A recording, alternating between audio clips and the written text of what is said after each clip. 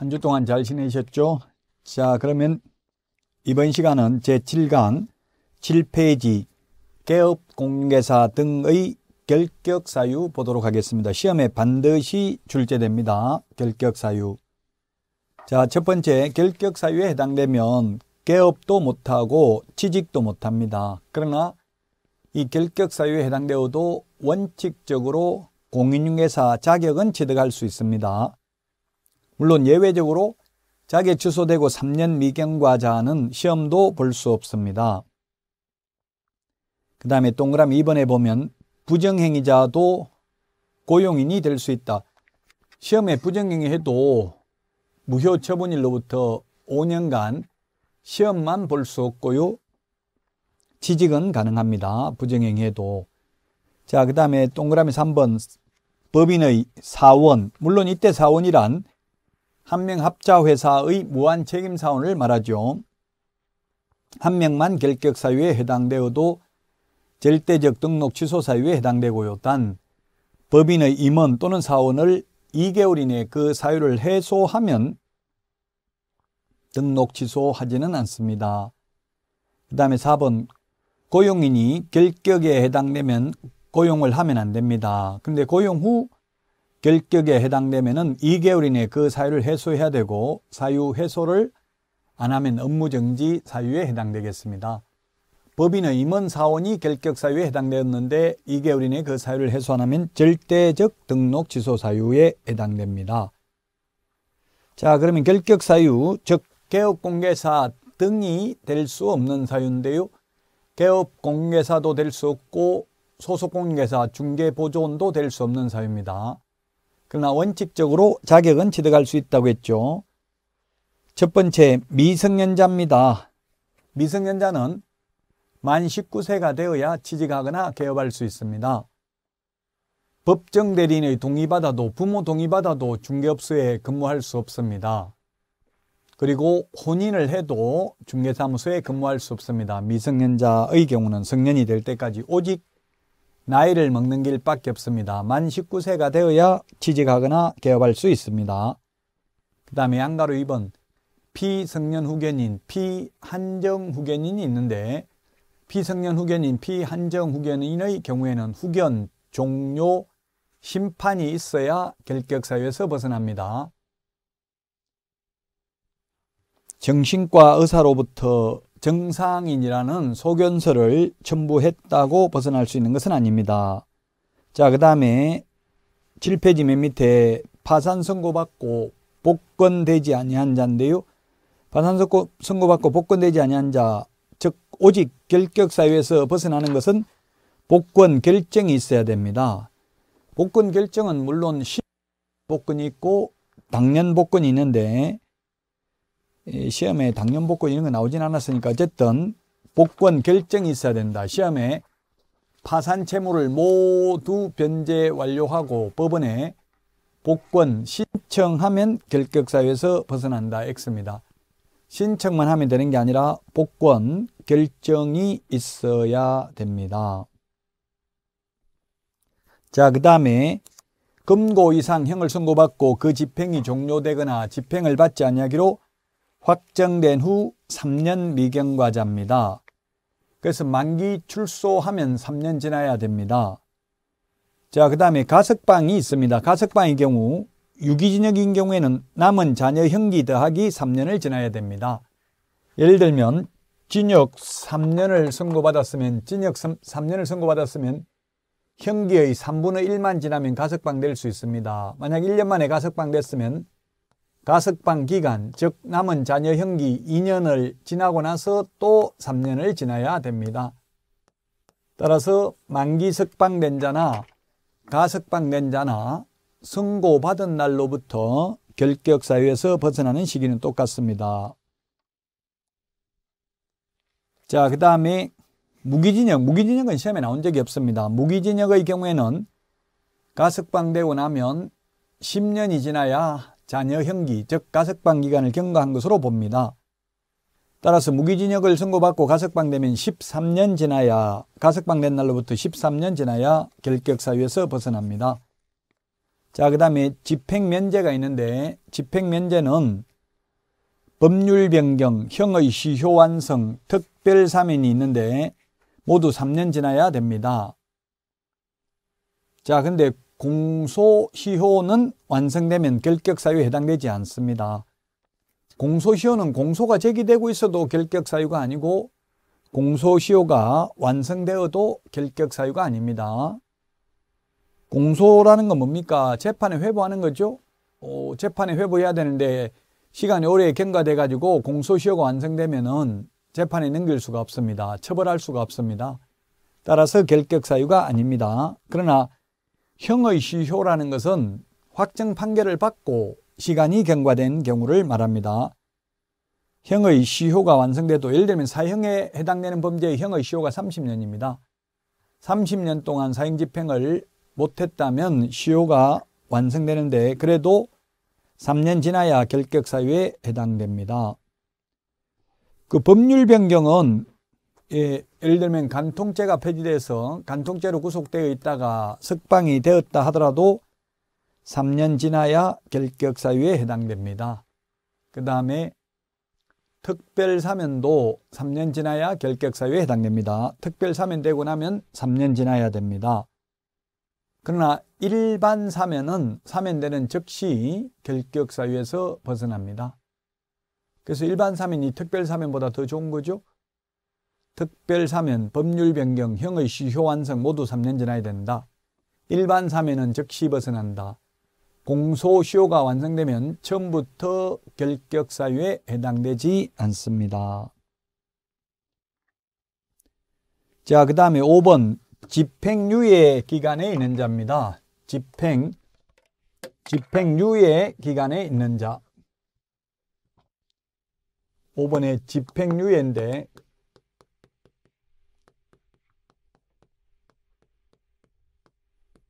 집행유예 기간 중에 있는 자는 결격사유에 해당됩니다. 집행유예는 결격사유인데 선고유예나 기소유예는 결격사유에 해당되지 않습니다. 선고유예나 기소유예는 죄가 가볍기 때문에 결격사유에 해당되지 않습니다. 집행유예는 징역 3년에 처한다. 그러나 깊이 뉘우치고 있고 그동안 국가 사회 경제 공헌한 점을 감안하여 그 집행을 5년간 유예한다 하면 이걸 우리 흔히 징역 3년에 집행유예 5년이라고 합니다. 이 경우에 앞에 받은 3년은 중요하지 않고요. 유예 기간 5년 동안 결격사유에 해당됩니다. 유예라는 말이 들어가는 것은 집행유예만 결격사유에 해당되고 선고유예나 기소유예는 결격사유에 해당되지 않습니다. 자, 그 다음에 자격 취소되고 3년 미경과자입니다. 자격 취소되고 3년 미경과자 결격사유입니다. 그 다음에 자격 정지 기간 중인데 자격 정지는 최대 6개월이죠. 그럼 만약 6개월 자격 정지 처분 받았다면 6개월 동안은 그만두더라도 다른 데 가서 취직도 안 되고 개업도 안 됩니다. 그 다음에 8번 등록 취소되고 3년 경과되어야 결격사유에서 벗어납니다. 등록 취소되고 나서 3년 미경과자는 결격사유에 해당되지 않습니다. 양가로 8번 등록 취소되고 3년입니다. 등록 취소되고 나서 3년 동안 결격사유인데 그 밑에 바로 옆에 예외가 있죠. 예외. 예외가 있는데 첫 번째 사망, 개인 사망, 법인 해산, 그 다음에 결격 사유,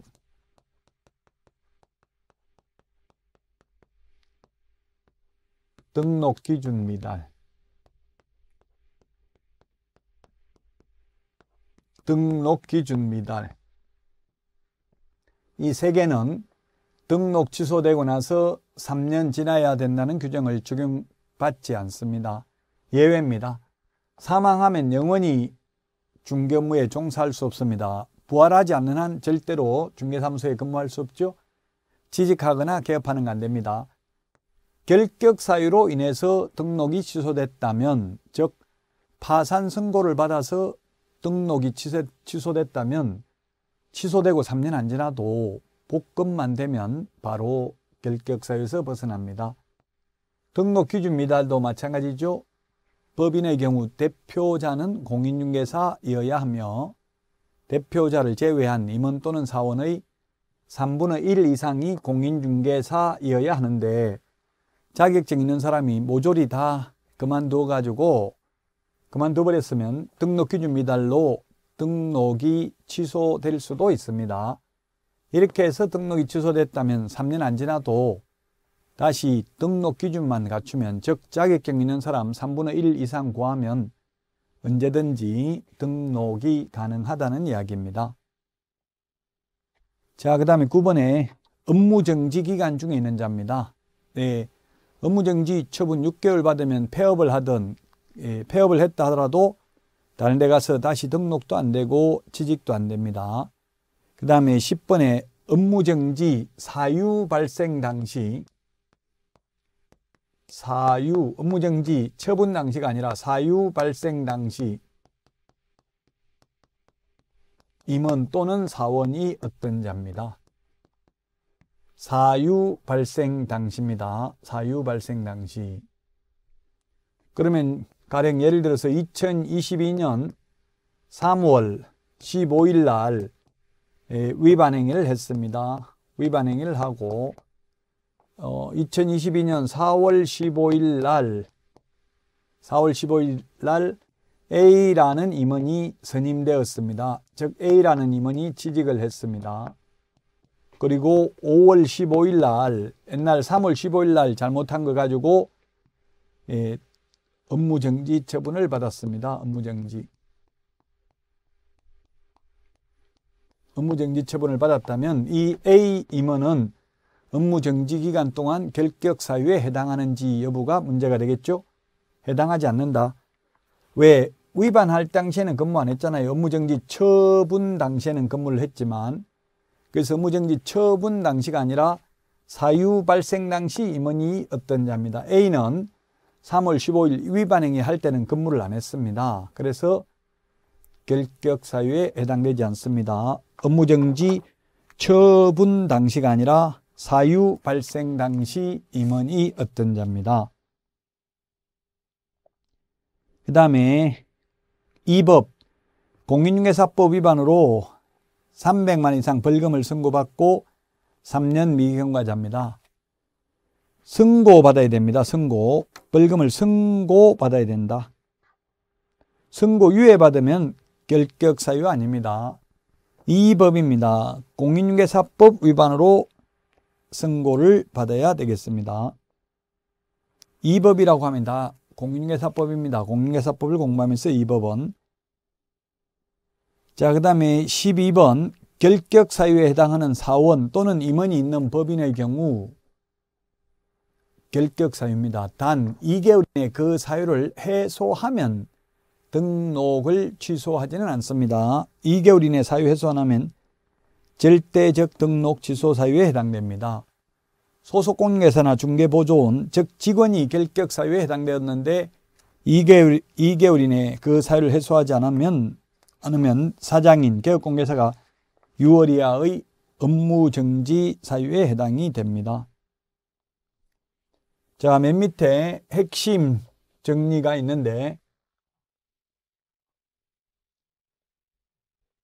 개업공개사 등에게 해당되는 것 그리고 개업공개사와 소속공인중개사에게 해당되는 것 그리고 개업공인중개사에게만 해당되는 것 이런 것들을 구분해서 정리를 해야만 되겠습니다.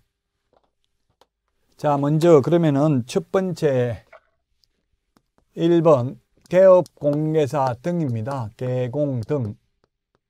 개공 등에 해당되는 게 예금이 비결이라고 했죠. 예금이 비결. 돈 모으려면 예금이 비결이다. 비트코인, 부동산 투자하는 게 비결이 아니라 예금이 비결이다. 이렇게 기억하면 되겠죠. 개업공개사 등.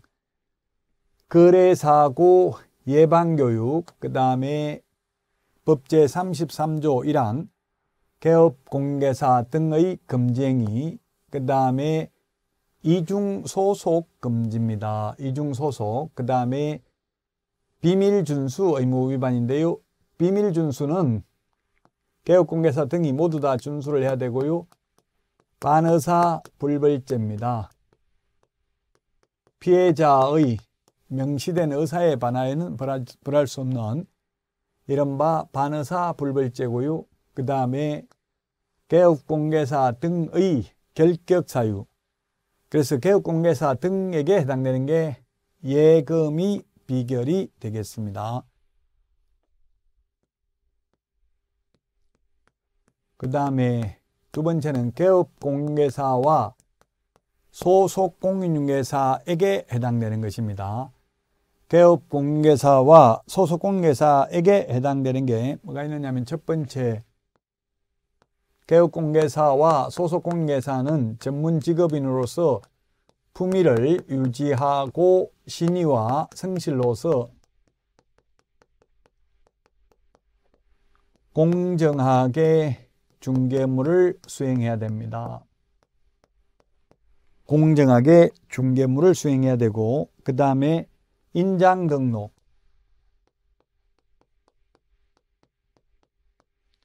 인장 등록도 개업 공개사와 소속 공개사가 인장 등록해야 되고요. 그 다음에 서명 및 날인 서명 및 날인인데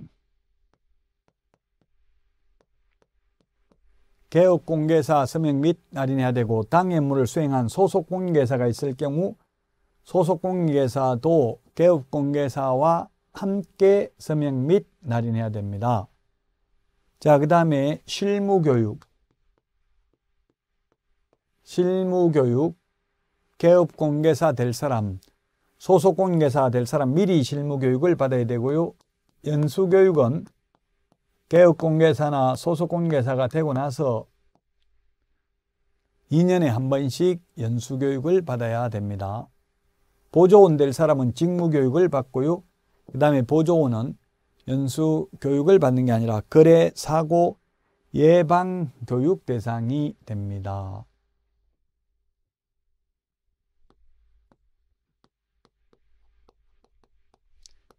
자, 그 다음에 개업공개사에게만 해당되는 것. 개업공개사에게만 해당되는 게 뭐가 있냐면 첫 번째, 보, 개시 의무.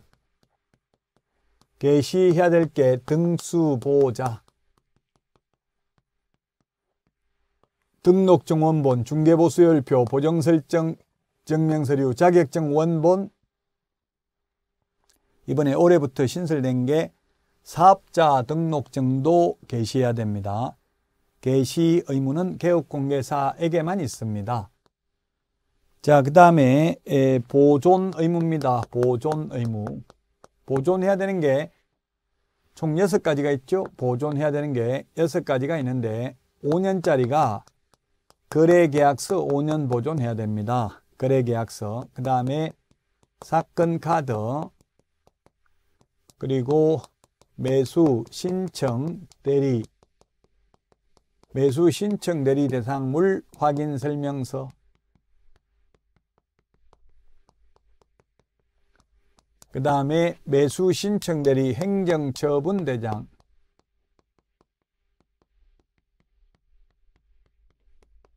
5년간 보존해야 됩니다. 5년. 자, 그 다음에 이게 4개가 5년이고요. 5년. 그 다음에 3년짜리가 2개가 있습니다. 3년짜리 2개가 있는데 중개 대상물 중개 대상물 확인 설명서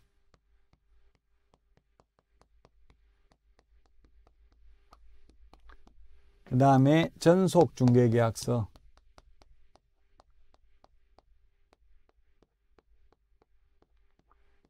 요 두 개가 3년 보존입니다. 요거 두 개는 3년 보존. 3년 보존이 되겠습니다. 보존해야 될 의무도 개업 공인중개사에게만 있습니다. 자, 그 다음에 계약서 작성. 계약서 작성도 개업 공개사에게 의무가 있고요. 다만 소속 공개사도 작성할 수는 있습니다. 확인 설명서 작성도 마찬가지입니다. 확인, 확인 설명, 확인 설명, 그 다음에 확인 설명서 작성.